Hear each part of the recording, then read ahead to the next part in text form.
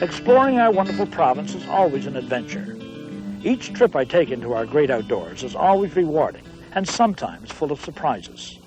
Sometimes we're lucky and get our limit of fish, but even when the fishing is poor, we always find things to make our trips worthwhile. So come along with us as we enjoy our beautiful lakes and streams, as we search for new places to fish.